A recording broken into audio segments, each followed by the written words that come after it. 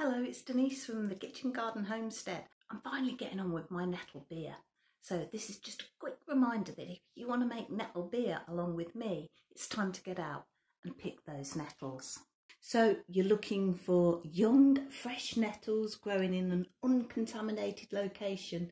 You want to pick the top few stems and pick the ones that aren't going to flower. So hurry up they're going to be going to flower very shortly. If you want to make nettle beer, you're going to need some sugar, you'll need some cream of tartar, a lemon, an orange, some fresh ginger.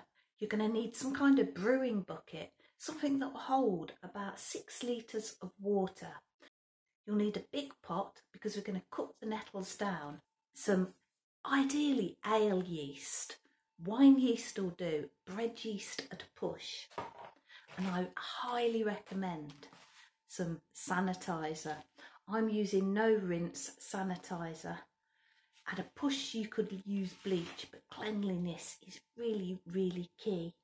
Anyway, I'll have my full video coming out shortly on the whole process of how to make nettle beer. Until then, get picking those nettles.